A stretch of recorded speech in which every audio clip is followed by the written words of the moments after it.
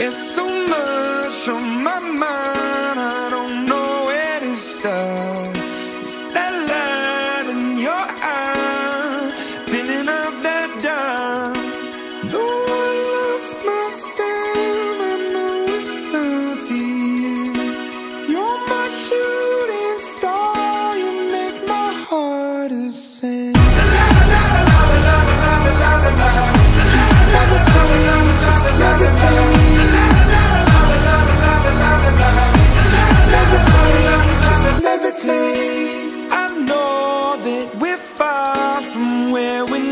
to be.